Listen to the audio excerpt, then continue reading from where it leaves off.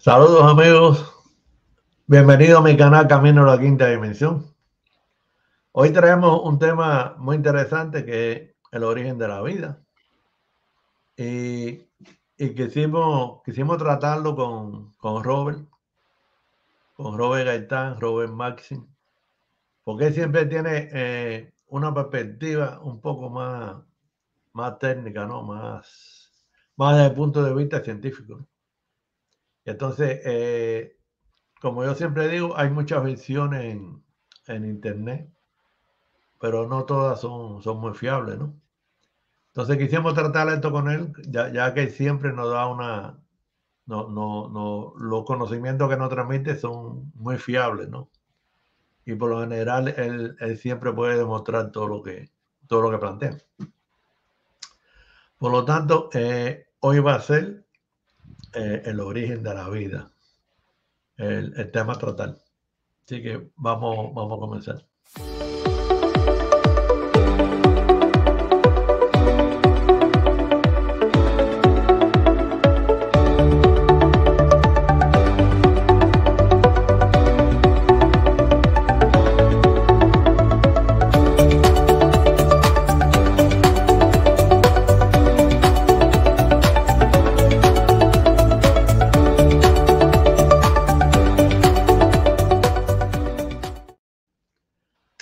Saludos Robert, ¿qué tal? ¿Cómo estás? Muy bien, muy buenos días a todos. Muy interesante tema este y ah, ya estoy viendo algunas de las preguntas ahí, así que estoy listo para arrancar. Sí, sí, hay bastante preguntas, bastante preguntas.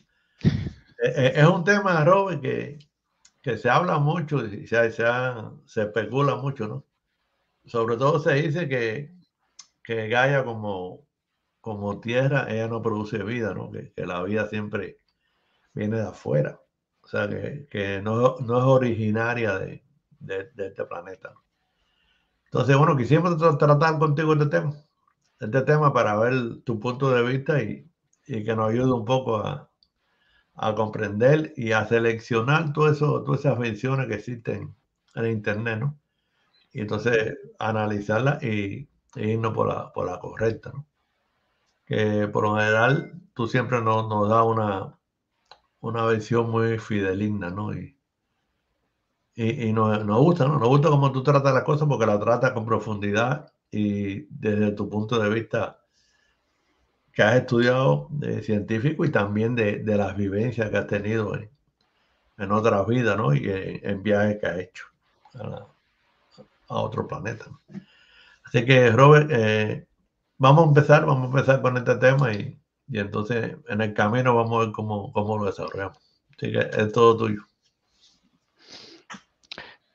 Hay tantos puntos que tocar.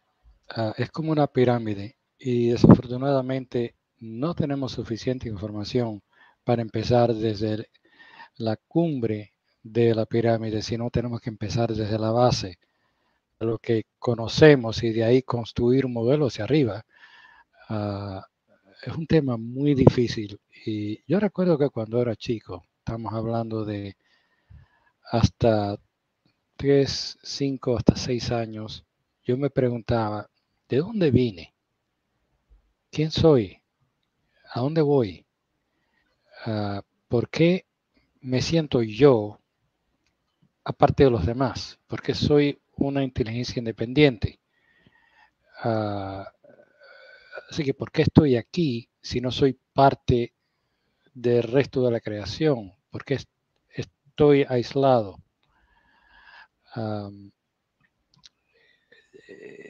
estaba mi, mente recordando muchas, muchas enseñanzas que no solamente tuve en otras vidas, por ejemplo, Atlántida, y Lemuria, Marte, otros mundos, estaba recordando y esas preguntas eran el resultado de esas memorias, de esa información que tenía.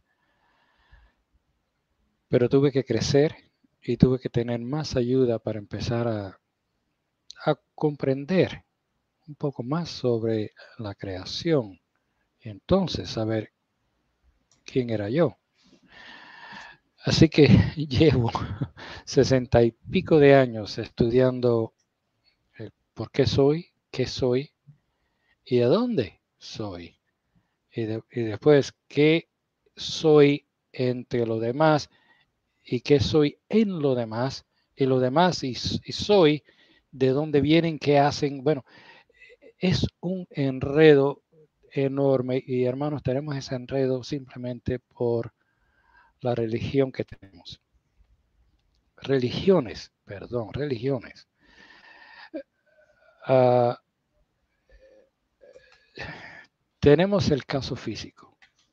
¿De dónde viene el cuerpo físico? ¿Por cuánto tiempo? Ese cuerpo físico, ¿de dónde viene su energía? ¿Cuál fue el diseño de esa energía? ¿De dónde viene esa energía? ¿Dónde va? ¿Cómo se maneja? ¿Quién la maneja? ¿Por qué es de la manera que es? Eh, yo sé que esa es la primera pregunta que todos tienen. Después la próxima pregunta es, ¿qué tal de el pensamiento? ¿Qué es el pensamiento? ¿Qué es el ser? ¿Qué es el individuo? ¿De dónde viene? ¿Cuándo fue creado? Ah, ¿Por qué es? ¿A dónde va? Ah, ¿Qué son los sueños? ¿Qué son las ideas? ¿Qué son las, invenciones? ¿Qué es la memoria? ¿Dónde se guarda todo eso? Ah, esa es la base, hermanos. Y después viene Dios. Eh, ¿Cuándo apareció Dios? ¿Qué es Dios? ¿Dónde está Dios? ¿Cuál es la relación entre Dios y nosotros? Fuimos creados por Dios, Dios fue creado por nosotros. Ah, eh, ¿dónde, ¿A dónde va todo eso? puedo decir otra vez que sabemos más de la base que de la cumbre. Y hay muchas cosas que honestamente no puedo contestar. ¿De dónde saco o de dónde voy a dar yo esta información? ¿Cuál es la fuente? Bueno, yo les voy a decir según voy avanzando y a Lázaro esto me va a tomar bastante tiempo. Ah, esto se va a alargar y si pueden aflojar, por favor, si pueden aguantar las preguntas, porque estoy seguro que lo que voy a decir les va a responder todas las preguntas. ¿Sí? Eh, es un tema que, que merita la tiempo, eh, que merita el tiempo, ¿no? El tiempo, por lo tanto, no. Yo, yo pienso que el tiempo que sea necesario, Robert, porque es, un, es un tema que sí debe quedar claro. Así que no, no hay problema por el tiempo. Oh, gracias, Lázaro. Bueno, voy a empezar por lo físico, que es lo que todos conocen. Todos saben que uno nace de del óvulo de una mujer y la esperma de un hombre. De ahí se crea el cuerpo. Es más complicado que eso. Mucho más complicado. Ah, ¿A dónde? Uh, perdonen, tengo una pequeña interrupción aquí porque estamos en Estamos en uh, construcción. Si me dan un segundito, sí, sí, por favor, un segundito. ¿Sí? No problema, sí. Ok.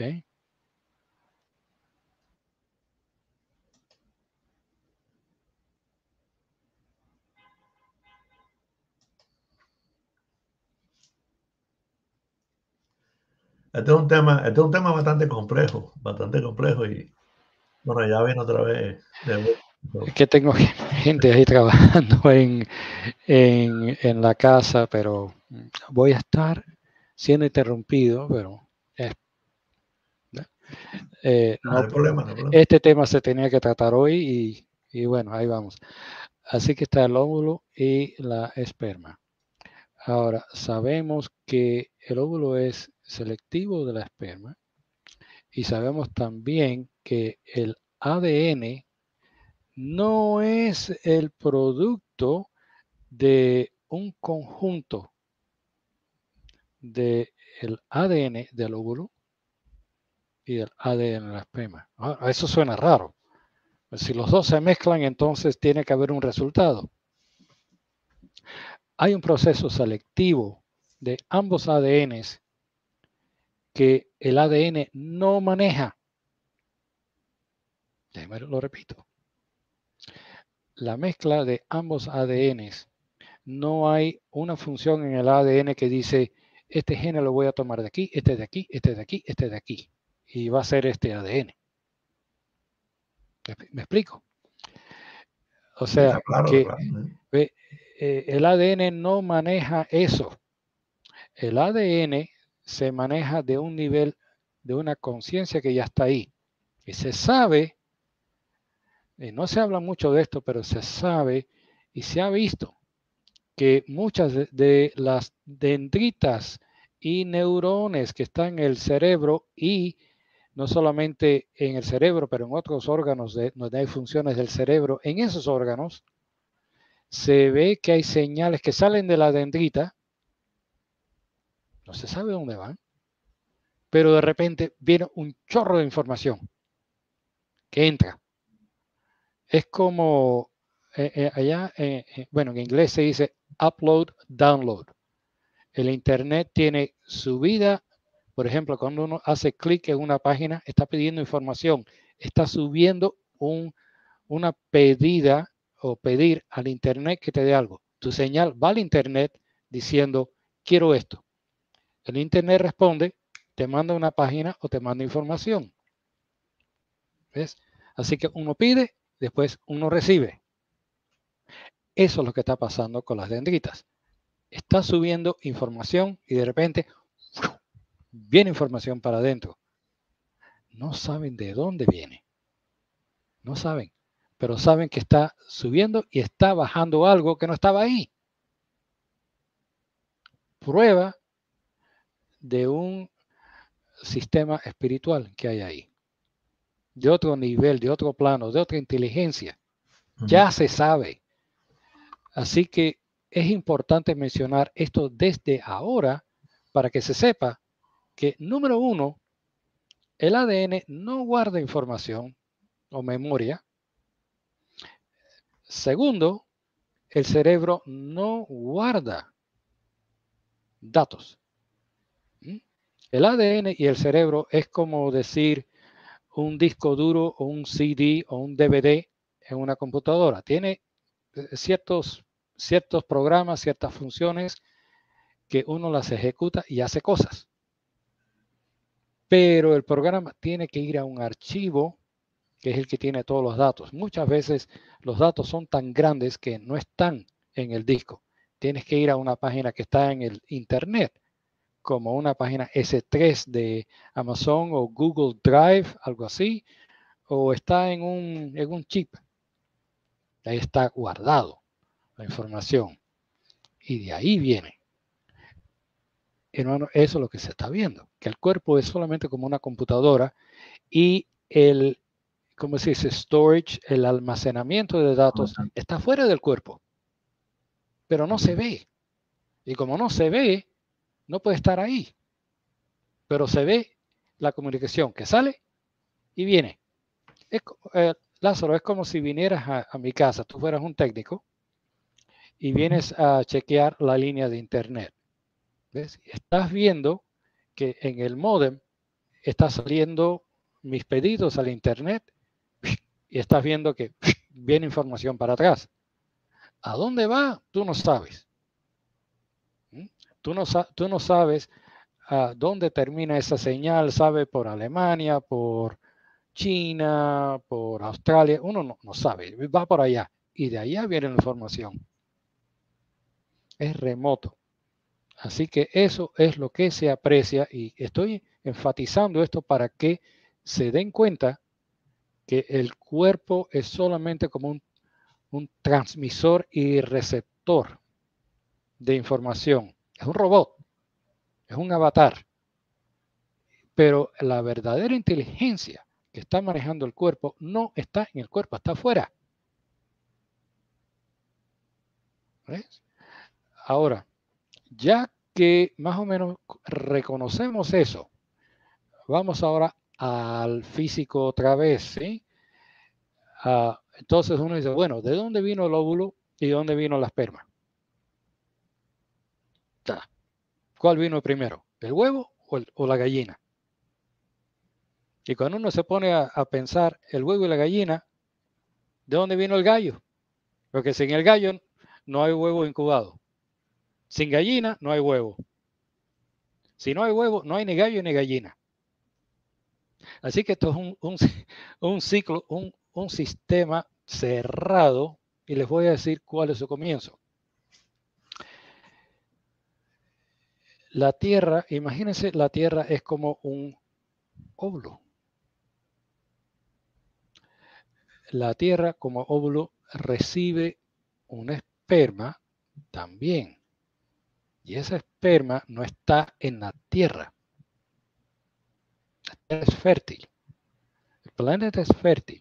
Necesita ahora un esperma para que venga y haya, sí, exactamente, hay algún tipo de conciencia que haga que ese esperma que entra al planeta se junte con los materiales y los hidrocarbones que hay en la Tierra para que se forme un ADN y se forme la base de la vida. ¿Me van siguiendo en esto? Bueno, ya sabemos cuál es el óvulo, ya sabemos que el óvulo se crea por las tierras y las piedras que producen las estrellas. De ahí viene la materia para el planeta, de esa forma. Pero ¿qué tal del esperma? ¿De dónde viene el esperma? Se sabe. En este sistema solar tenemos el Sol y también tenemos planetas enormes, jovianes, que tienen unos, unos campos magnéticos enormes. Estamos hablando, por ejemplo, Júpiter. Estamos hablando de Saturno. Urano hasta un tercer lugar y después Neptuno como cuarto, cuarto nivel, ya menos, ah, menos magnetismo. Pero el principal es Júpiter. ¿Por qué menciono estos cuerpos grandes? Porque de los, del magnetismo, del plasma que crea estos campos magnéticos, se, se ha observado que se crea algo muy importante que se llama ah, un plasma cristal. El plasma cristal, y esto lo pueden ver en cualquier parte de la internet para que lo confirmen. El plasma cristal es un tipo de hidrocarbono. ¿Cómo se forma? Perdón. Bueno, imagínense de que del Sol sale un, un tipo de vamos a llamarlo una molécula magnética. Es como decir un, ah, como un objeto magnético. No, no, tengo una buena manera de escribirlo, pero digamos que mi mano es ese objeto. No, no, se, parece exactamente a esto, pero les quiero demostrar de que tiene una forma específica. Tiene paleticas así, tiene cositas que salen, pero es miniatura, es microscópico, chiquito, bien chiquito. Es solamente un campo, vamos a decir, un campo de energía magnética. Y lo interesante es que las puntitas de, ese campo atrae a átomos específicos. ¿Mm? Ese, ese, plasma va viajando, viajando por el espacio y va chocando con átomos de carbono, a ver si me acuerdo de todos, carbono, nitrógeno, oxígeno, uh, Ah, no me acuerdo del otro, eh, son como cinco, sulfuro, de repente fósforo, no me acuerdo los demás. Ah, cuando se encuentra con esos átomos, esos átomos van, aquí va de carbono y se va a este punto del plasma, el nitrógeno y se viene para acá, el oxígeno y se viene para acá. Se ponen en el lugar diseñado como que los está llamando, dice, ven para acá, tú ven para acá, tú ven para allá, y es automático. Cuando esos átomos se, se acoplan en ese plasma, ese plasma ahora no se llama cristal de plasma, se llama aminoácido. Así que imagínense que el Sol, con todas esas prominencias y, explosiones que tiene, los gases y el fuego que anda soltando, está soltando esos plasmas. Y lo más interesante es que los plasmas son idénticos. Vamos a decir que suelta un plasma con un patrón que va a ser, vamos a decir, cisteína, el aminoácido cisteína. Ese no es el único que hace, hace billones, billones de cisteínas, hace billones, trillones de glutamina, hace trillones de triptófano cada segundo. Es una explosión de estos cristales, los está lanzando todo el tiempo hacia el espacio. Y ahí esos se están combinando con los átomos, primero los átomos que están alrededor, cerca del Sol. ¿No han visto a veces esas prominencias que salen del Sol que van así y se van hacia el espacio? Según los, los flash solares que le dicen. Exactamente, los flash solares. Y ahí esos plasmas van cogiendo todos esos átomos y ya lo que va al espacio son los cristales de plasma ya convertidos en aminoácidos. El cuerpo humano necesita 21 aminoácidos específicos. Hay trillones, trillones de esos aminoácidos por todo el sistema solar. Y no solamente lo saca el Sol, también lo saca Júpiter, también lo saca Saturno. Esas son las espermas. Que después, con la ayuda del óvulo planetario, se juntan los dos con una, ¿se acuerdan que le dije? Con una conciencia directiva.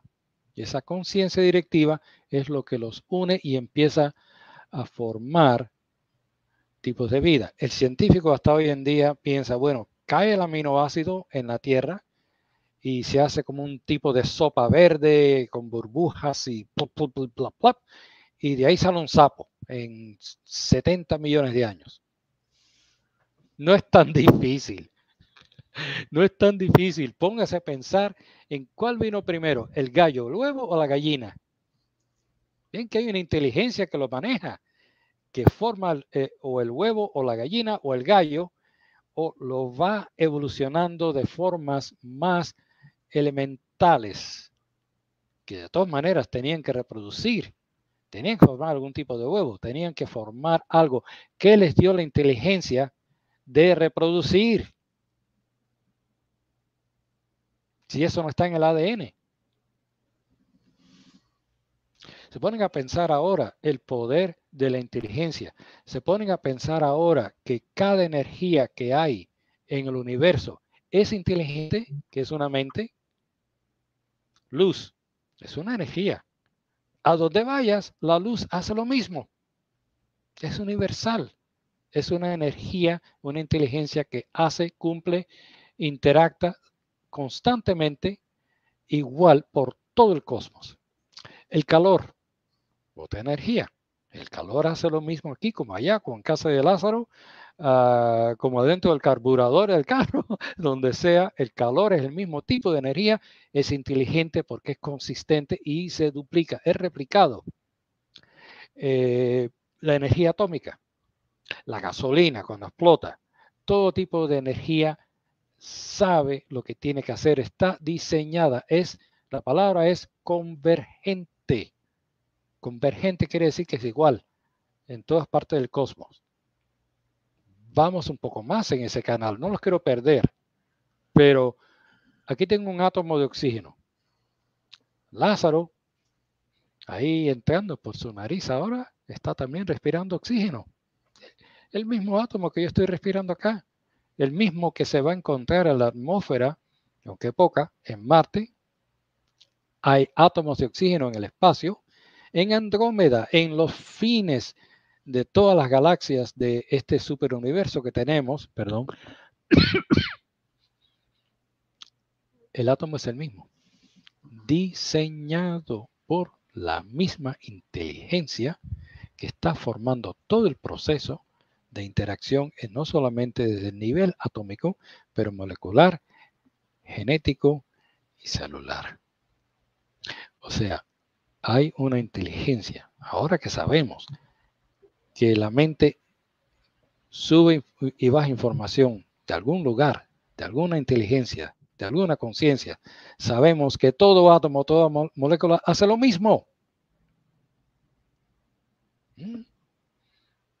Así que ahora esto simplifica todo lo que es el, el concepto universal de la creación.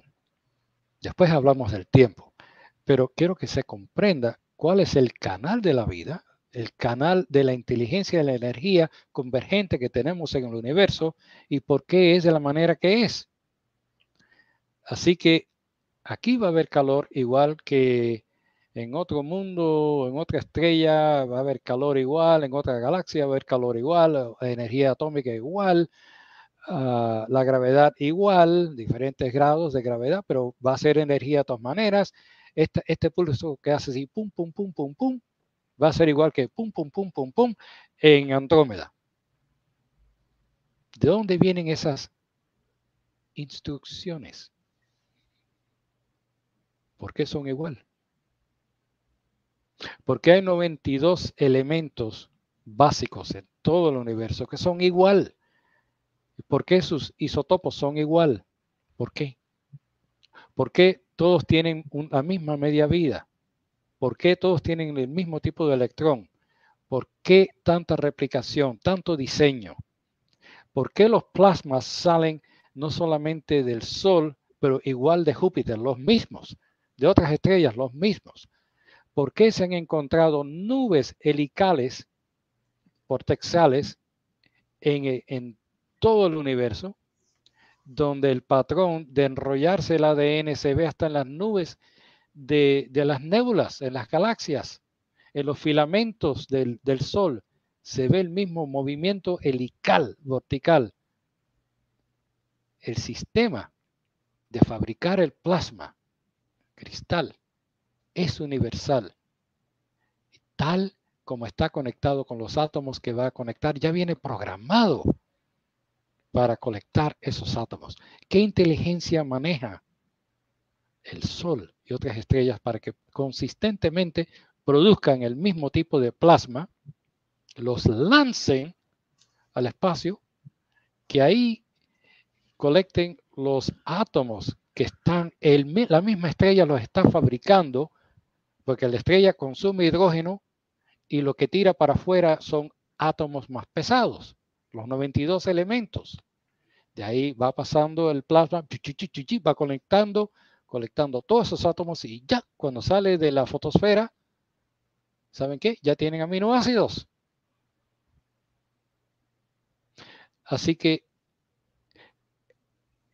el origen de la vida por lo menos en el físico, los están empezando a comprender ahora de que la estrella es la que fabrica la esperma, pero saben que antes de fabricar la esperma estaba fabricando también los elementos, las piedras, la tierra, para formar también el óvulo. Miren qué sistema tan inteligente. Ese óvulo siendo el planeta. Del Sol salió el óvulo del sol sale la esperma para crear vida, crear vida en el óvulo. ¿Y saben qué otra cosa se ha descubierto? Se ha descubierto bacteria en el espacio. Sí, vida formada del polvo que hay en, en el espacio fue suficiente para juntar esa tierra. Es como un óvulo, óvulo pequeño con los aminoácidos que venían de esperma de la estrella para hacer algo viviente. Esas bacterias también caen a los planetas. Así que no solamente piensen de que la bacteria se forma en el planeta, con la esperma y con el óvulo, que es la Tierra. También se forman en el espacio. ¿Mm? Hay criaturas en el espacio, que vive en el espacio? Claro que sí. Las hay. Y después no pueden respirar. ¿Quién dijo que tienen que respirar? No, tienen que tomar agua. ¿Quién dijo que tienen que tomar agua? Si hay bacteria que vive en los reactores atómicos a millones de grados. En los volcanes. en los volcanes también. Abajo de la tierra. En todas partes se forma la vida. La vida está diseñada para estar en todas partes. Es parte de esa enorme inteligencia. Ahora los voy a llevar un poquito más allá. Vamos a ver ahora el diseño, porque ya establecimos de que hay una conciencia, una inteligencia que está manejando la inyección de esperma y de óvulo en el plano físico. Vamos, vamos a observarla. Nosotros sabemos de que la energía viene a esta dimensión y se regresa. No hay nada como sólido. Esa energía viene aquí, aparece como un átomo, como un pulso, como una energía y se va y vuelve a regresar. Viene, se va, viene, se va, viene, se va trillones, trillones, trillones, trillones, trillones de veces por segundo. Pero fíjense que no cambia. ¿Cómo es posible que algo venga, se vaya y no cambie? ¿Cómo es posible? Sin inteligencia, miren lo que pasa. Yo tengo aquí una pelotica. ¿Mm? A por aquí. Ah, ¿Ya, ¿Ya ven la pelotica? Ahí tengo una pelotica. La suelto esa pelotica va a rebotar en el piso y va a surgir para arriba, pero no va a llegar hasta aquí. Va a llegar, va a llegar más o menos hasta aquí. Va para el piso, rebota y llega hasta acá. Y va perdiendo altura, va perdiendo energía. Hasta que queda en el piso y pum, pum, pum, pum, pum, pum. Y ahí se para. Ya no rebota más. Se le acabó la gasolina, se le acabó la energía que tenía. ¿Mm? Esa ese no es el caso con esta dimensión. Yo una vez calculé que la energía total que tiene un electrón, un solo electrón, es como de 6 millones de watts, 6 megawatts. Y eso es por toda la vida que tiene un electrón.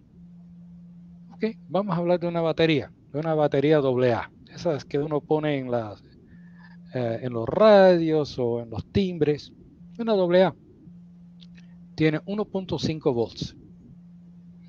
Ahora, tiene un potencial. Esa batería con uso normal, va a decir en un radio, te va a durar una semana. Toda la energía, todos los watts que podía darte esa batería en una semana se gastaron. ¿Ves? Ahora, ¿qué tal si tomo esa batería y ¡pum! Ahora le saco toda, toda la energía que tiene. Le voy a sacar, vamos a decir, 500 watts. Pero ya.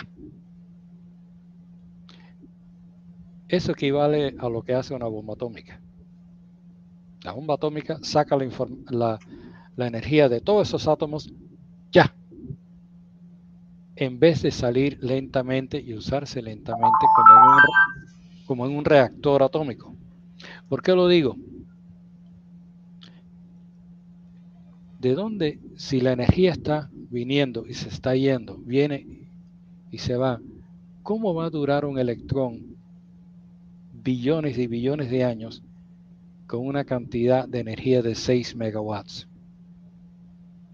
Si no existiera un tipo de ¿cómo se dice? Replenishment, de restaurar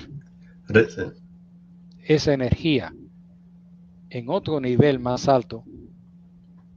Si yo no tomo esta pelota que suelto y cuando, cuando sube y no, no sube del todo, si no le doy una ayudita con la mano para que vuelva a subir al nivel original, sigue cayendo más y más. Le tengo con la mano que tocar para que siga subiendo al mismo lugar es como un columpio. Que esté alguien en un columpio, lo tengo que seguir meciendo, meciendo, para que no pierda ese ángulo de, mecer, tengo que seguirlo empujando. Si no lo empujo, se pierde. Se pierde la fuerza angular. Eso es si la persona que está en el columpio no hace nada con sus piernas y con su cuerpo. Así que sabemos que la energía no, puede, no tiene pie ni cuerpo para, seguirse empujando solo. Necesita esa energía.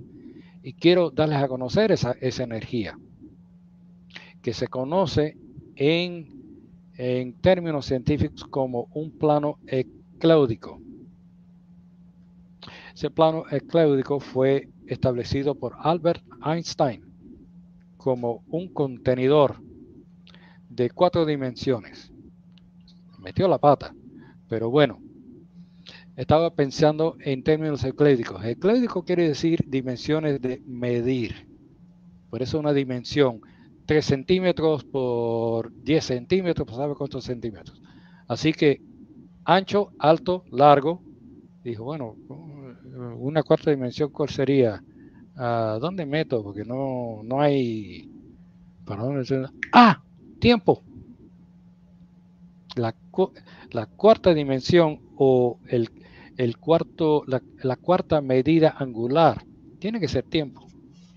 Ya hizo su ah, regla de relatividad. No es así. Una cuarta dimensión va a ser un cuarto plano. No tiene dimensiones. Se lo explico para que vean cuál es el origen de la energía que está viniendo para acá. Viene, se va, ahí coge más fuerza, viene, se va, coge fuerza otra vez, le dan su, palmadita, pum, pum, pum, para que siga bajando y subiendo y sea igual cada vez que viene. Menos entropía, claro, hay que considerar la entropía que es parte del diseño natural. Pero ¿de dónde viene esa energía? Viene de la cuarta dimensión donde solamente hay patrón de energía y vibración. Eso es todo. Así que, ¿cómo funciona esto entonces? Aquí tenemos un patrón cuarto dimensional. Es un, es un aro. La mejor representación podemos dar. Un círculo donde hay energía todo alrededor de ese, de ese círculo. Ese círculo se contrae. Lo que va al centro aparece en esta dimensión. Cuando se abre otra vez para atrás, es como respirar. ¿Ves? Cuando sopla para afuera, aparece aquí. Cuando respira para atrás, regresa. Por eso no se cansa la energía. Y otra cosa, que cuando aparece en esta dimensión, hay instrucción en, en ese aro para que aparezca en múltiples lugares al mismo tiempo. ¿Mm? Vayan recordándose ese concepto que es muy importante. Por eso puede aparecer un átomo de oxígeno aquí, otro donde está Lázaro, otro donde está Jesús Cruz, saludos, Pacheco, allá tienes oxígeno del mismo, y todo vino de un solo patrón, que de ahí lanzó trillones y trillones y trillones y trillones y trillones de apariciones de la misma energía por todo el universo. Así que imagínense que cada átomo tiene un círculo de instrucción en la cuarta dimensión. Cada pulso, cada energía, cada electrón tiene su patrón. Ahora vamos a entrar en algo un poco más esotérico. Eso es para los átomos, eso es para la materia. ¿Dónde está nuestra mente? ¿Dónde está nuestro ego, vamos a decir? ¿No está en este plano donde aparece la energía? ¿No observamos nosotros la energía y la guardamos como memoria en nosotros mismos? ¿No es esa energía la misma energía que tiene nuestro espíritu? La energía es la misma. Viene y se va. Viene y se va. No es un químico, hermanos. Es un patrón de información. Así que es al revés, hermanos. No es que el pensamiento o la idea o el espíritu o el alma viene de la misma energía que construye los átomos. Es al revés. Los átomos están construidos de la misma energía que hace el alma. Y ahora pueden comprender por qué es que la mente puede cambiar la creación. Por eso la mente es creativa. Ahora, si pueden entender eso hasta cierto, hasta cierto punto, pueden ver que el alma también está subiendo, bajando, subiendo y bajando trillones y trillones y trillones de veces, pero no nos damos cuenta. Todo es, todo en la creación es corriente alterna. Todo. No solamente el cuerpo, pero los pensamientos. Vamos a llamarlos el venir y irse a la cuarta dimensión otra vez. Vamos a llamarlo una mini reencarnación. Así que todo lo que ven, ese, ese planeta que ven ahí, este, siendo Marte también, todo lo que ven ahí, todo lo luz, todo material, está apareciendo y yéndose. Las almas o, o las mentes que viven en esos mundos también. Después hablamos de lo que pasa con la muerte, porque es parte de la vida. Pero están viendo de que todo lo que existe en este mundo es como un tipo de holograma. Es una clase, es una cuna y ha sido diseñada para que nosotros crezcamos a conocer un poco lo que es el sentido del alma, la inteligencia, cómo servir y cómo ser seres que puedan elevarse hasta ese, hasta ese plano y de ahí seguir manteniendo ese nivel de energía. Entonces nos ponemos a pensar, si es fabricado, si es diseñado, todo lo que baja para acá y se mantiene por medio de mentes en ese nivel, ¿cómo será la, la cuna que nos espera? ¿Qué tipo de energía, qué tipo de creación existirá más allá de la cuarta dimensión? Vamos a decir la quinta. ¿Qué diferente va a ser? Honestamente, no tengo idea. Lo único que sé es que es un nivel que se llama voluntad. Una voluntad creativa de la cual conozco muy poco. Como dije, todo es muy fácil explicar la base. Es más difícil explicar lo que es el infinito. Y sé que hay una pregunta ahí que, bueno, nada viene de nada. Dios tuvo que venir de algo. Lo que es infinito no hay manera de explicarlo, porque no somos seres infinitos, somos finitos. Y si pudiéramos explicar lo que es infinito, ya no sería infinito. Tendría que haber algo más allá. Así que esa es una respuesta que ni los avatares ni los maestros más avanzados que hay nos pueden dar. Ahí se complica la cosa. Uh, Pero regresando a la creación de nuevo, recuerden de que el principio de la vida es el alma. El principio de lo físico es el alma.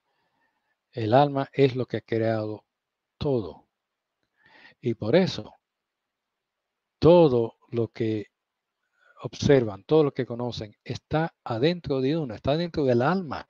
Uno lo ve fuera, pero no, está dentro. Lastimas lo que está fuera, lastimas lo que está dentro. Y te lastimas tú. Entonces, ¿qué es lo que empezó todo este proceso de vida? Lo, mejor que podemos comprender es que no hay fin a la creación hacia el futuro, pero es muy difícil comprender que no hay fin hacia el pasado también. ¿Cómo es eso posible de que haya existido algo para siempre? Bueno, hay una respuesta. Esa respuesta es muy simple. El universo que tú conoces comenzó en el momento que tu conciencia estableció ah, contacto con este plano. Ahí comenzó tu universo. Sí, Lázaro también creó su universo. Alejandro Pacheco también creó su universo. Pero todo lo vemos común porque todos estamos en un nivel común de este plano. Pero si vamos avanzando, van a ver, por ejemplo, si dan un viaje astral, van a ver otro universo que otros no ven. Por eso el universo está dentro de ustedes.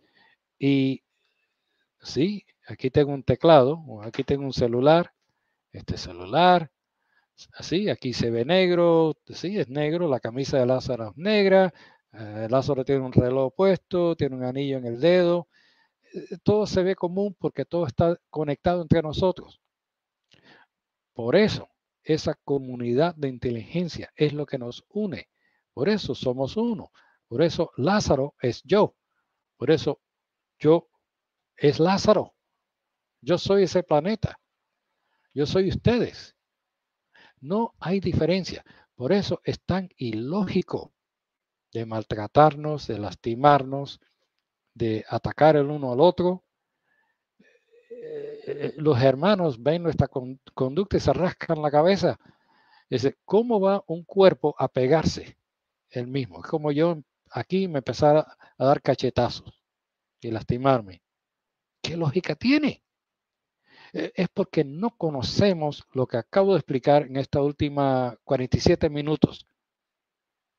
Por eso he tomado tanto tiempo para explicarles de dónde viene la creación física cómo se crea el cuerpo, cómo, de dónde sale su inteligencia, qué es lo que lo hace, de dónde viene esa inteligencia.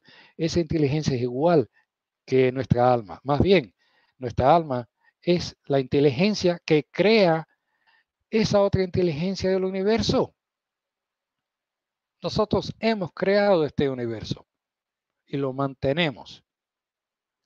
Y por eso está dentro de nosotros. Todo lo que hemos hecho está acá dentro y lo compartimos uno con el otro, uniéndonos en una cadena de vida y de creación.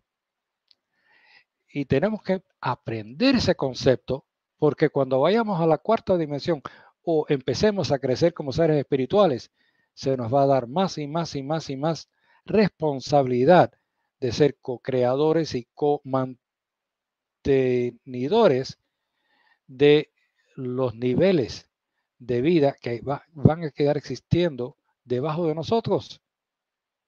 Por eso, la evolución está importante, la preparación, la educación, eh, la educación del ego, que aprenda a servir, a recibir y dar, porque eso es lo que va a estar haciendo en niveles más altos.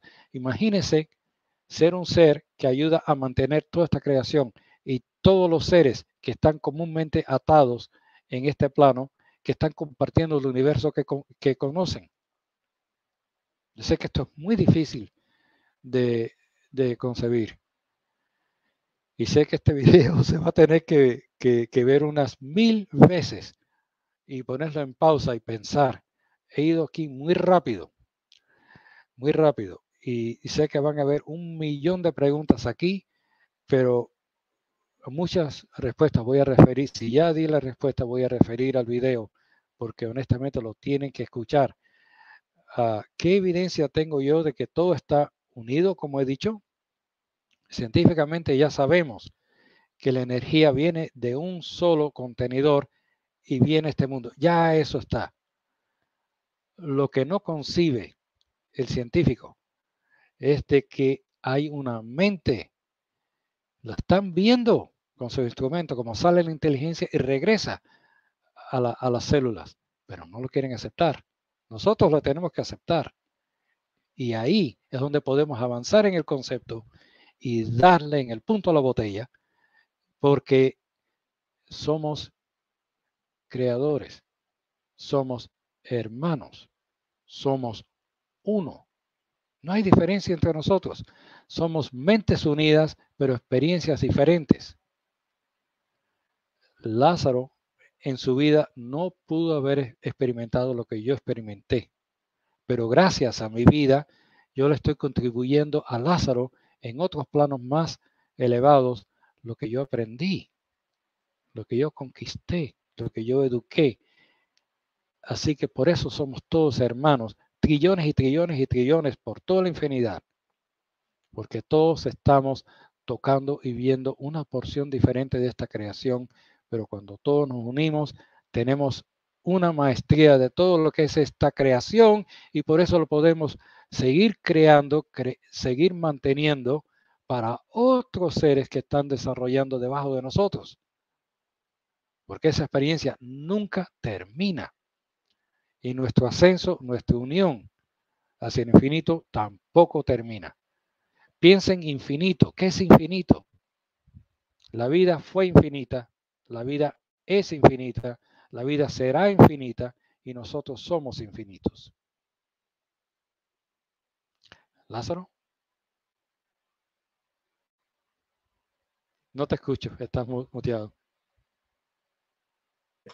Hay algunos ruidos aquí extraños.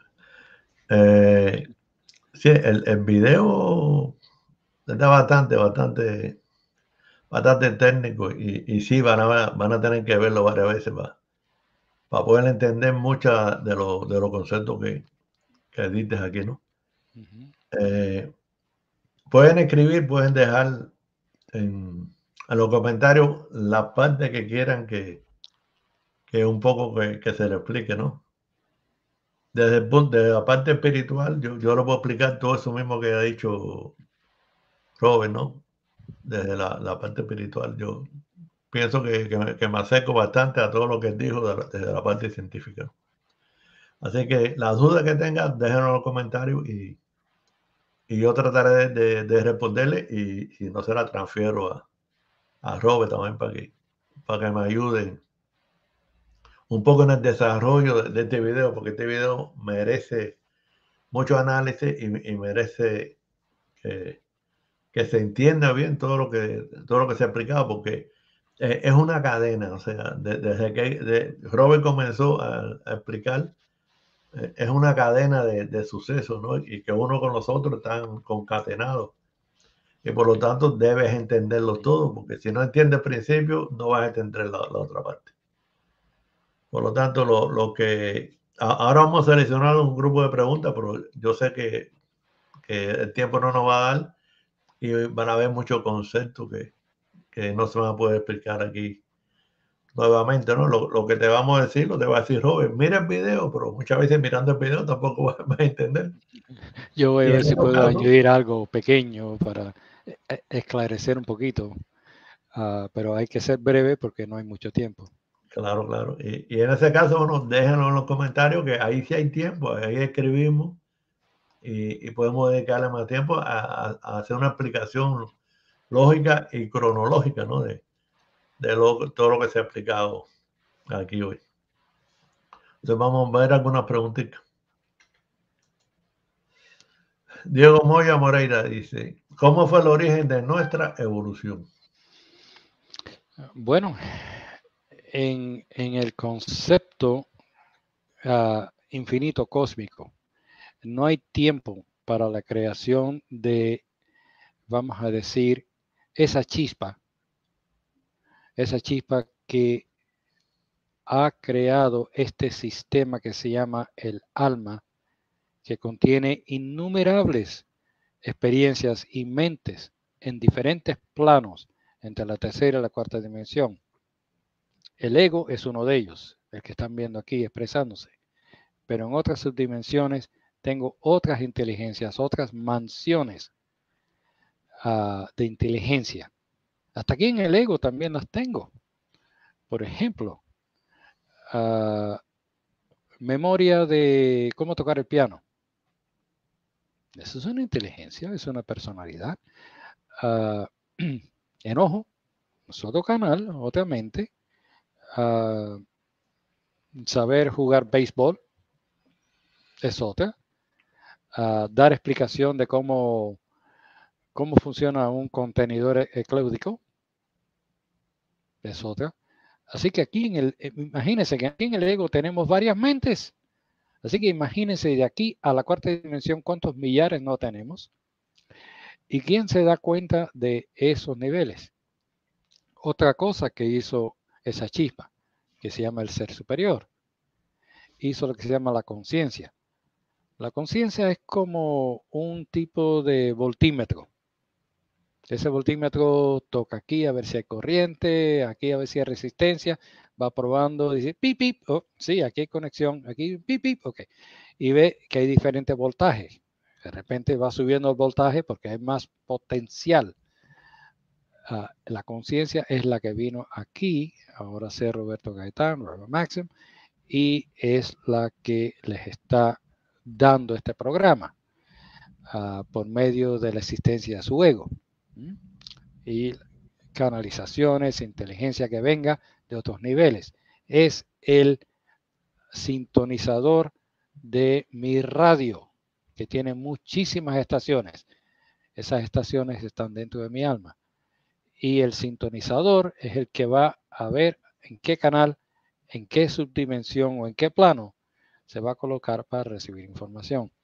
Así que ese es el origen de nuestra evolución el mandato del ser superior a que se crean estas mentes para que todas aprendan en todos esos niveles y vayan ascendiendo, vayan ascendiendo con información y al final lleven todo su reporte de lo que han aprendido y se unan al ser superior.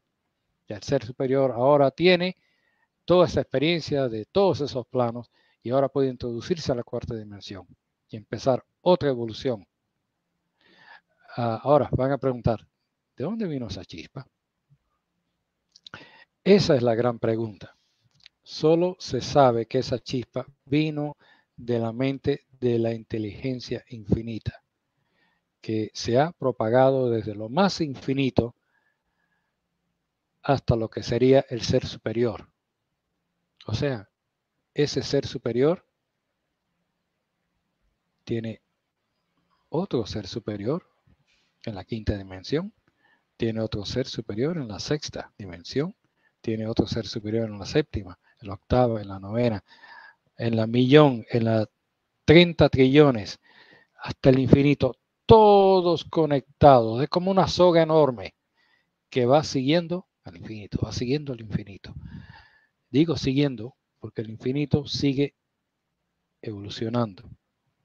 Y vuelvo a decir que nadie de verdad sabe el principio, los principios del infinito. Nadie sabe dónde va. Mentes muy elevadas hasta nos dicen, no vemos el fin. Y sin ver el fin, no podemos ver el principio.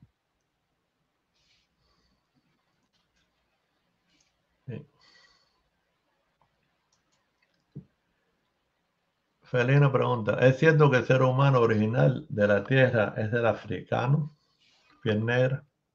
No. El ser humano de esta Tierra, ah, por medio de mi experiencia, y después le voy a dar experiencia científica, ¿sí? Es de que ha habido mucha mezcla.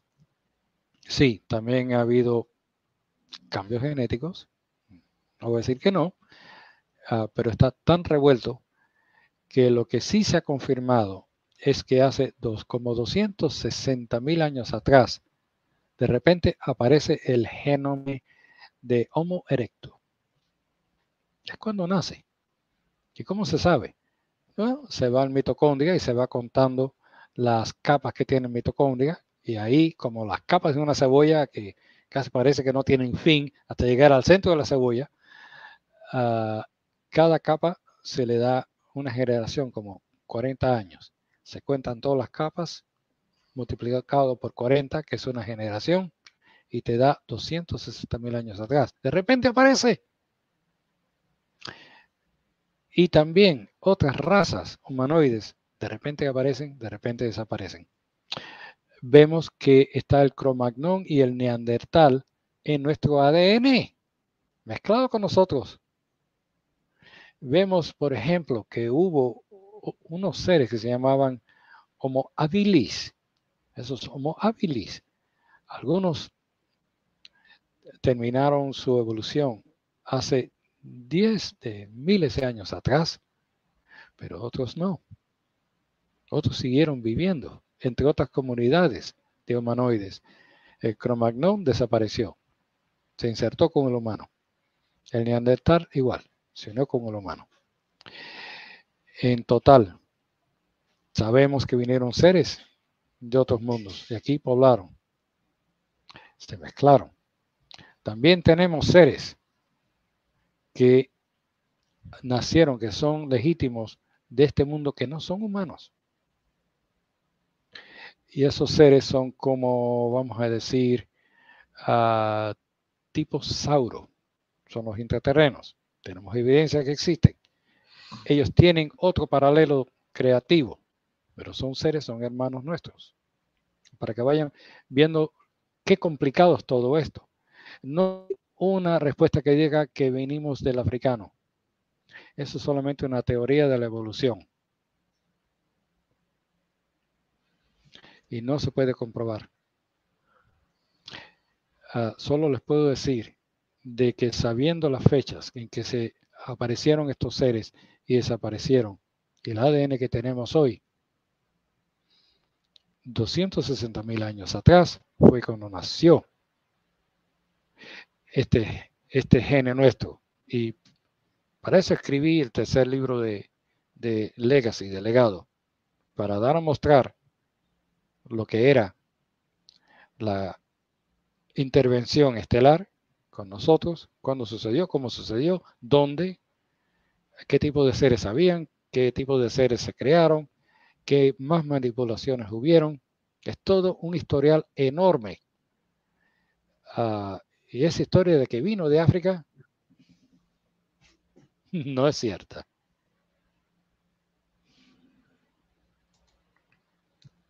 Elisa Soleto pregunta, si hay razas propias en este planeta, ¿cómo se generaron? ¿O lo que define ser un planeta es la primera encarnación? Lo que define ser de un planeta es la primera encarnación. Uh, bueno, lo que acabo de explicar así es como se, generó, uh, tanto como en la explicación de la esperma y el óvulo, el aminoácido y la tierra, como fueron formados y como fue inyectada la vida por conciencia para que se formaran los, uh, las formas de ADN, no solamente en la Tierra, pero también en el espacio que se hayan creado hasta bacterias en el espacio y quién sabe qué más. Uh, lo que define ser de un planeta en primera encarnación, eso es todo parte de la evolución de ese, de ese mundo y cómo va progresando la expresión de esos seres que van creciendo en su forma física hasta formar algo más inteligente, más humanoide. Estamos hablando de millones, billones de años de desarrollo.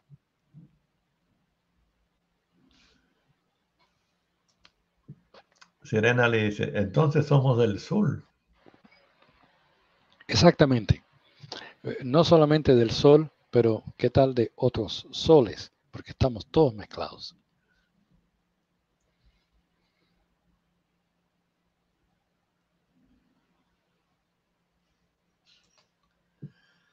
Pacheco, Alejandro. La energía que viene y se va de una dimensión a otra es reencarnación, como es igual también ir al trabajo y luego a tu casa.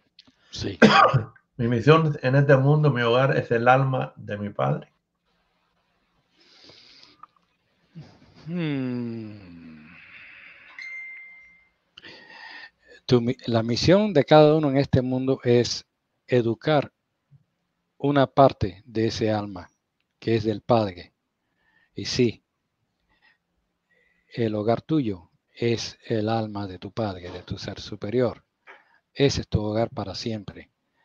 El ego es parte de ese hogar, está en uno de los cuartos de, esa mansión, pero hay muchos cuartos en esa mansión. La conciencia, vamos a decir, es el que va de cuarto a cuarto, visitando cada, cada inteligencia que hay ahí. Hay millones de cuartos en esa mansión, en ese hogar.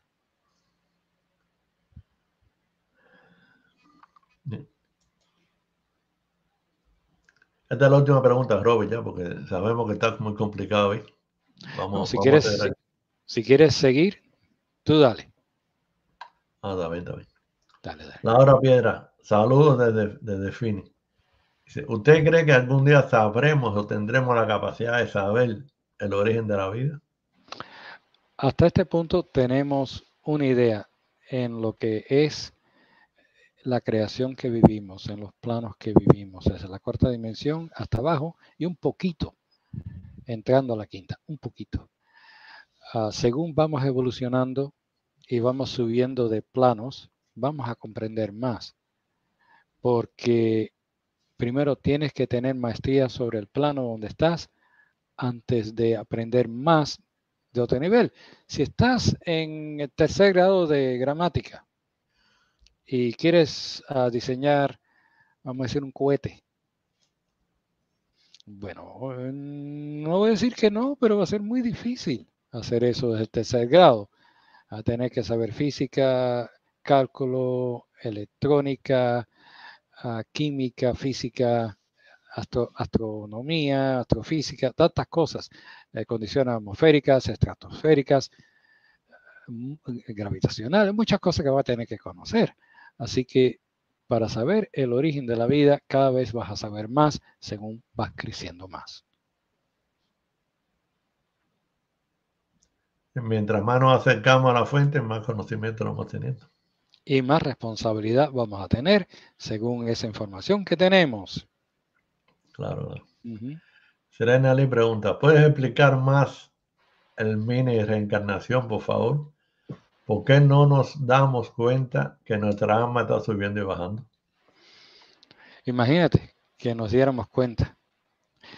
Ah, ¿Han visto rollos de película a veces en el cine donde a veces cuando va a empezar la película se ven los cuadritos ching, ching, ching, ching, ching, ching, ching, ching, ching, ching, ching, ching, van yendo cada vez más rápido hasta que se ve la, la película y se ve como que está está en vivo. Es porque eh, están pasando 30 dibujitos por segundo. Exacto. Y ya esa Antes era 24 por segundo. Antes era 24 por segundo. ¿Te acuerdas de las películas más antiguas, no?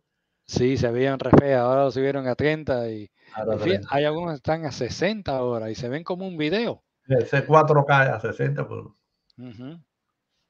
Pero esa es la ilusión de la solidez y de la vida. Eh, nosotros estamos en un sistema que va, mucho más de 60 por segundo, trillones y trillones y trillones de veces por segundo. Imagínate que si, para darte un ejemplo, si la radiación gamma vibra, a ver cuánto sería, perdón, hago el cálculo, 9, vibra a un billón, billón de veces por segundo. Y la vemos. Imagínate, este es un, rayo gamma, esa onda. Así que imagínate esa onda que baje y suba según su energía. ¿Cuántos billones de puntos no tiene ahí para formar todo una curva. Así que si está, la estamos viendo un billón, billón de veces, ¿qué tal si tiene un billón de puntos de resolución? Para que se vea todo lineal, todo junto, como si fuera una soga sin, sin que le falte ni un espacio. Así que no sería un billón, billón, billón de veces que está bajando y subiendo. Es un estimado. Solamente les puedo dar un estimado de la velocidad en la que baja y sube la información. Como nosotros, como nuestra conciencia reencarna, viene y se regresa en un periodo de, de vida, va a ser 70 a 90 o 100 años que vivimos acá, esa mini reencarnación sucede un billón, billón, billón de veces por segundo. Ahora, ¿cuántos segundos no hay en 100 años? Multiplica eso por un billón, billón, billón de veces. Es el número de pulsos que va a hacer cada átomo en tu vida, cada pensamiento, cada memoria en tu vida, cada, cada pelo de tu, de tu cuerpo. Es un número exageradamente enorme. Pero esa es la totalidad de toda la energía que vas a usar y vas a gastar en esta dimensión, en lo que es el periodo de tu vida.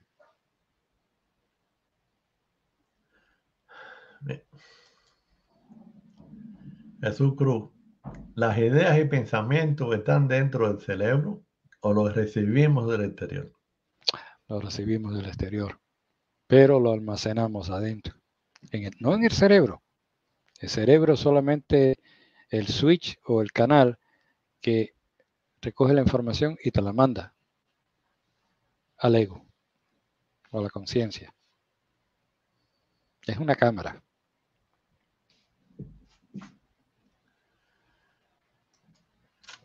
Ana está preguntando, ¿es un ítem la existencia? Todo es existencia ítem y, no ítem, todo. Todo existe, todo es mente, todo es inteligente. No hay nada en ninguna parte de la creación que no sea inteligente. Todo es inteligencia. Y todo existe. E-, esto se parece mucho. Alma, espíritu y conciencia, ¿no mismo? No. a ver cómo lo explico. Vamos a decir que esto es un contenedor. En este contenedor, aquí abajo está el ego, aquí arriba está el ser superior. En este contenedor están esos dos, pero también hay otras mentes que tenemos, desde aquí hasta aquí, millares. Esos son, vamos a decir, espíritus, mentes, experiencias, inteligencias nuestras. La conciencia es la que anda bajando y subiendo y conectándose con cada uno de esos puntos de inteligencia y ahí es donde lo sentimos. En el ego, la conciencia también anda funcionando para arriba y para abajo. Cuando sentimos enojo, ahí conectó la conciencia con nuestro espíritu de enojo. Vamos a decir nuestra mente, nuestra experiencia de enojo. Cuando voy a tocar el piano, la conciencia se conecta con ese, esa inteligencia. Todo es una memoria, todo es una, una colección de información, de expresión. Y donde, no, donde sintonice, va a escuchar ese canal, va a escuchar esa estación de radio, la va a sentir. Así que la conciencia es lo que siente. ¿Mm? y lo que ayuda a regenerar o recuperar o reeducar eso que siente. Así que por eso no es lo mismo. Tienen diferentes funciones, pero sí son de la misma energía que viene de la fuente, solamente con instrucciones diferentes.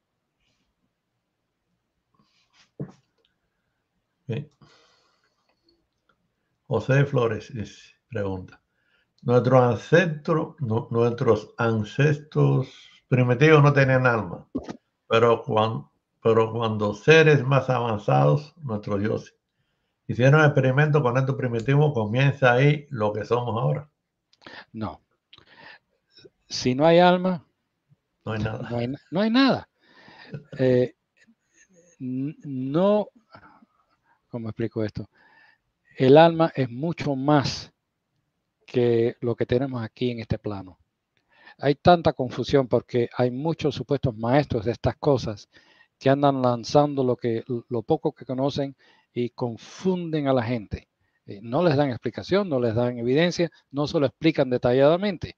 Lo tiren ahí, ¿te gusta? Bueno, miren, el alma es lo que el ser superior fabricó. Si yo voy a ir a la tienda, por ejemplo, aquí en Argentina, bueno, en los Estados Unidos, yo iba, vamos a decir, a Winn-Dixie o al Publix o cualquier tienda de comida, lleva un carrito.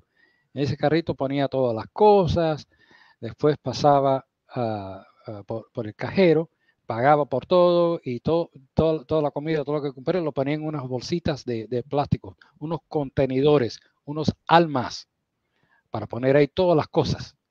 Y ya me la llevaba para el carro. Aquí en Argentina no. Aquí en Argentina, bueno, sí tienen carritos, sí pasas por una caja, pero tienes que llevar una bolsa para poner ahí tus cosas. ¿Mm? Tienes que llevar un almita para poner ahí todo. ¿Ves? Así que si no tienes bolsa, no te llevas nada. Tanto en el Winn Dixie como aquí en la Anónima o cualquier, cualquier otra tienda que, hay aquí por el, por el área. Ah, así que el alma, si no, el alma lo tienes que tener siempre. No es, como dicen, que es la producción de un laboratorio que hicieron la inteligencia. Eso no, no. Contrariamente erróneo. Ah, y, lo siento por aquellos que están enseñando esas cosas, no es nada cierto, no es nada científico. ¿Ves? Por eso les digo, vuelvan a escuchar todos los datos científicos que les he dado para que vean estas cosas. El alma es un contenedor fabricado por el Padre. Adentro de ese contenedor estás poniendo todas las cosas que has experimentado en este plano físico y en otras subdimensiones a las que vas cuando mueres. Y el que, el que va, dice, ¿a dónde vas? Donde va tu conciencia. Allá sintoniza y allá experimenta esa, esa inteligencia, te sientes como ese ser, ahí vives como ese ser, y después cuando te toca reencarnar, dejas ese ser quieto, te regresas acá hasta que lo evoluciones. Así que eso es el alma. El alma es como un edificio con muchos pisos. En cada piso tienes una inteligencia diferente y la conciencia es el elevador que anda subiendo y bajando y te anda llevando en la muerte o en la reencarnación a otras de esas inteligencias o a la que tienes acá en este plano. Así que, eh, ¿hubieron experimentos en este mundo? No, no hubieron experimentos, hubieron cambios. No hubieron extraterrestres que vinieron aquí a, como, a, ver cómo hacían los humanos y probando con este gene. No. Aquí hubieron cambios de ADN para tratar de que los seres que estaban aquí se hicieran más inteligentes. Eso sí pasó. Más de eso, hubieron otros seres de otros mundos que vinieron aquí, hubo mezcla, y después de esa mezcla hubieron más cambios al ADN, para mejorarlo. Después vinieron más seres, hubieron más cambios, se unieron los neandertales, los cromagnon, hubieron más cambios, hubieron más mezclas con otros seres de otros mundos. Y es lo que somos hoy. En el físico, pero en la mente. En la mente estamos hablando del alma. El cuerpo no es parte del alma, es una fabricación, es un robot que el alma hizo, la conciencia hizo, para que se tuviera aquí un nivel de expresión. Así que lo que somos está aquí. Esto es temporario. Es un transporte experimental en la densidad de la materia. Por eso se creó el cuerpo.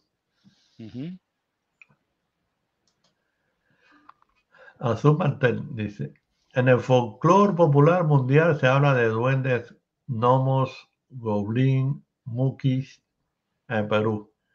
¿Existen realmente? Si es así, ¿qué tipo de seres son? ¿Son diferentes a los astrales? Son diferentes a los astrales. Al que sí puedo confirmar, ya que Azul eres de Perú, eh, yo estuve colaborando con el estudio de las momias de Nazca. Les puedo confirmar y tengo mucha evidencia, videos, videos de que existen. Tengo videos de ellos. Ahora, otras cosas que se han visto no las puedo explicar. Las momias de Nazca sí las puedo explicar. Sé hasta qué ADN tienen. Sé de qué tipo de, evolución tienen. Lo demás, no. Pero de que hay otros tipos de seres que pueda de que anden rondando por aquí, por ejemplo, como pie grande, como Bigfoot, eh, Yeti, por ejemplo. Hay mucha evidencia de que, de que muestra de que sí hay otros tipos de seres en este planeta. ¿Cómo desarrollaron? ¿Cómo vinieron aquí? Hasta ahora no hay explicación. Ah, pero mi enfoque ha sido en lo que es los intraterrenos de Nazca, que son, viven en todo el mundo, en las Américas, en Europa, en Asia, en todas partes, no solamente en Perú, y también Homo erectus, que somos nosotros.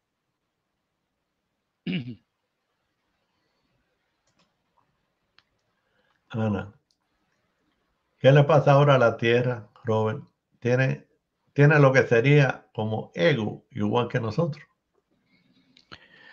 Todo lo que está en, esta, en este plano es un tipo de ego, todo. Todo es una mente. Y Ana, muy bien que pienses de esa manera, porque cuando empezamos a ver que todo lo que existe tiene un origen espiritual, un origen de energía, de inteligencia. Ya hemos despertado. Eso es lo más importante que podemos saber y me da mucho gusto de que pienses de esa manera. ese ego, esa mente también va a evolucionar. Si nosotros evolucionamos, la materia, la vegetación, también evoluciona vamos radiando más sabiduría, más inteligencia a todo lo que nos rodea. Así que muchas veces nosotros pensamos, bueno, tenemos maestros que nos están guiando para evolucionar. ¿Qué tal si nosotros somos maestros de la creación? ¿No hemos pensado eso? de que nuestra mente está cambiando y ayudando a evolucionar el resto de la materia. Esto es muy importante de considerar.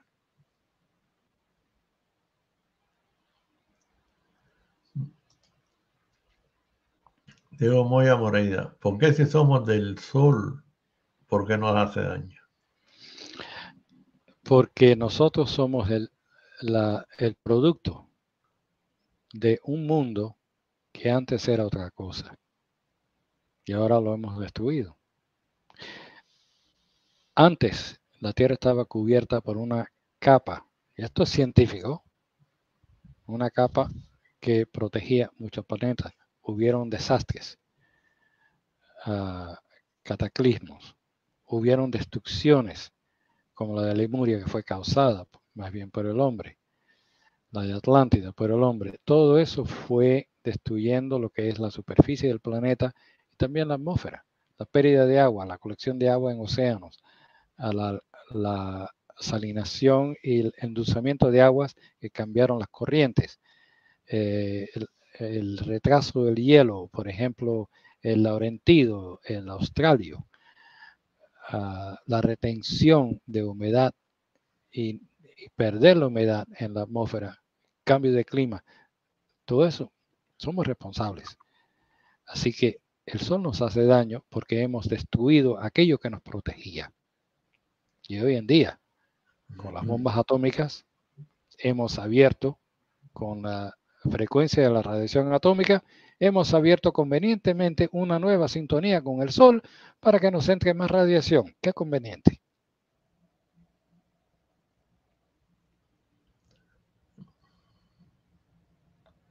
Vamos a terminar con esta pregunta ya, porque ya llevamos hora y media. Y no viene al caso, pero bueno, me, me, estaba pidiendo que, la ponga, ¿no?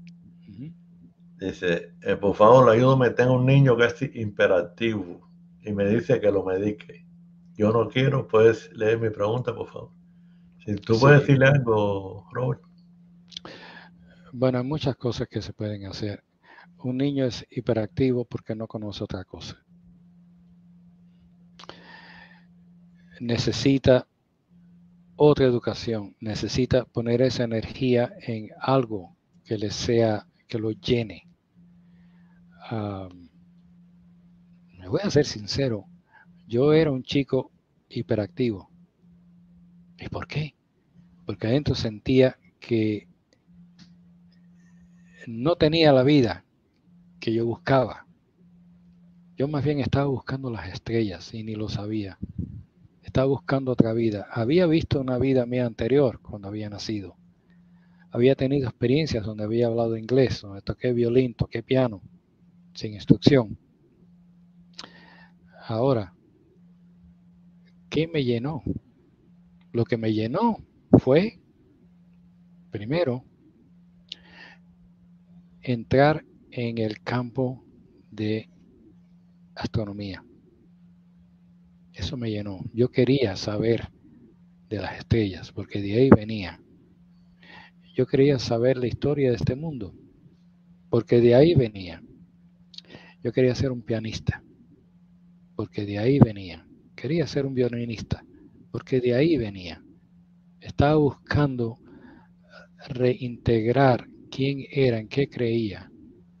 Hasta la misma religión Ah, no quise entrar en la religión, pero me forzaron y de ahí traté yo de buscar la razón por la cual yo veía aquello mal. Y la encontré. Así que ser hiperactivo es estar buscando, es querer expresar esas vidas en las que yo fui un violinista, fui un pianista.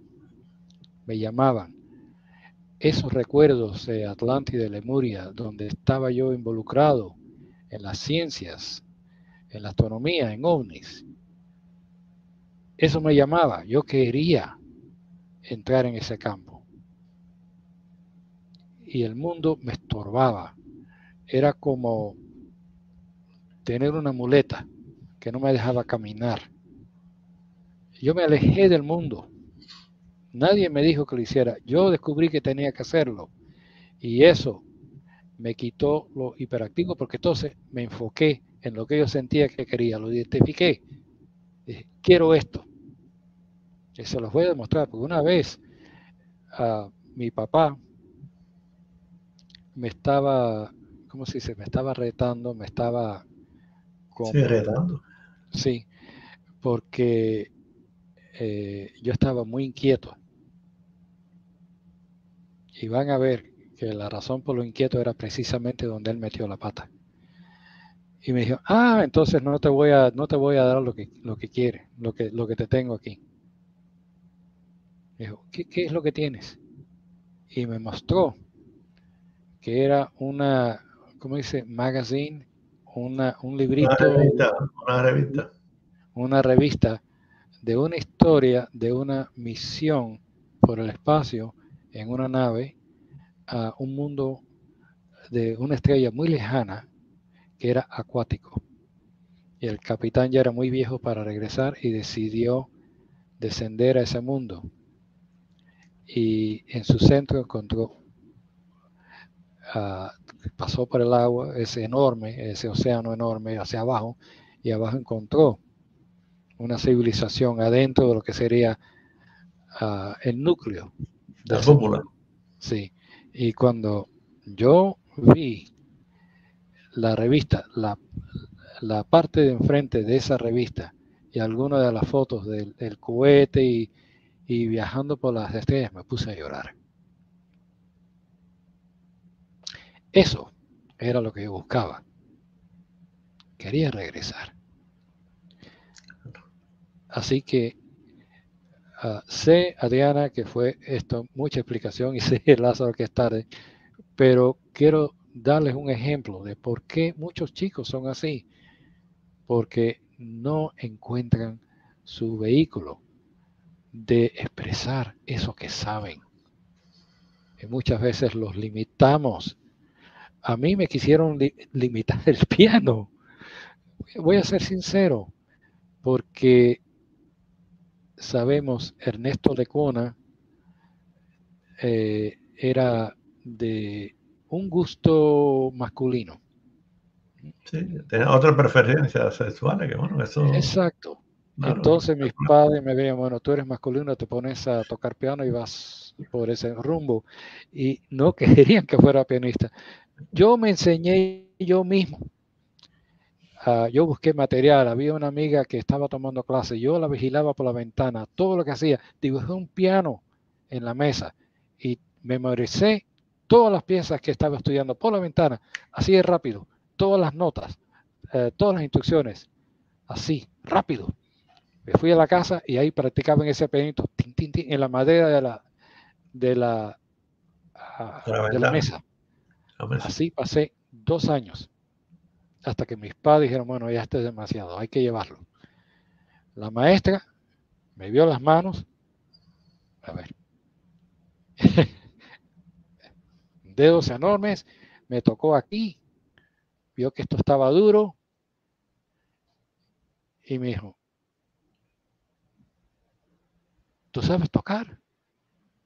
Y dije, sí. Mm, sí. Entonces, ok, toca. Empecé a tocar. Por primera vez escuché mi música.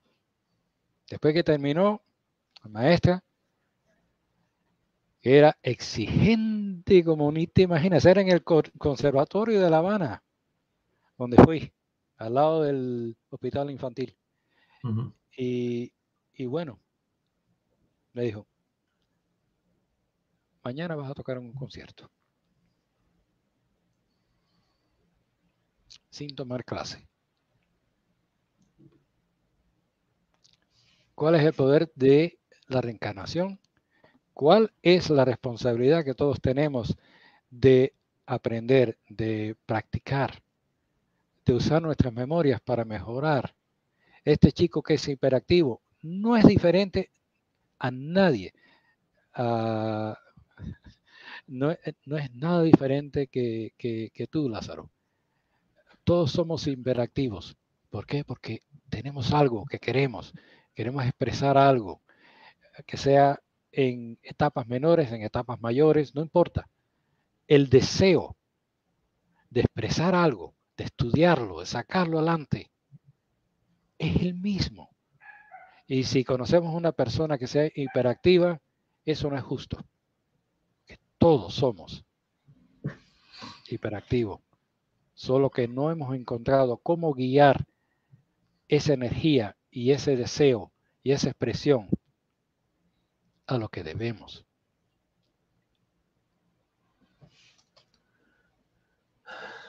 Muy bueno, muy bueno. Bueno, Jerome, yo ya eh, hemos, hemos hablado bastante de este tema y si, si hay alguna duda, nos la pone en los comentarios ahí y entre Robert y yo vamos a, vamos a explicarle todo lo que, todo lo que podamos. Y si no, en el próximo video que tengamos, aunque no, no sea este tema, pero bueno, sí se puede, si quedaron con alguna duda, podemos evacuar algo de este, de este origen de la vida que, que es bastante complejo, bastante complejo. Y, les sugiero que, que, vean este video varias veces, porque lo van a necesitar para entender por lo menos algunas etapas de las que Rob explicó. Pero entonces, muchas gracias a, ustedes por su participación, por su atención, por su comentario, a los que están ahora presentes y a los que nos van a ver también en diferido. Robert, muchas gracias, como siempre, por tu, por tu movilidad, tu, tu participación y tu comprensión. Y esta ayuda que nos da tan desinteresadamente a todos nosotros para un poco que entender este camino, este camino a la ascensión que, que tenemos que hacer y, y, en definitiva cómo debemos comportarnos y, y, los parámetros que debemos seguir. Entonces, nos vemos, Robert, gracias. Nos vemos en el próximo video. Chao. Gracias a todos. Chao. Chao.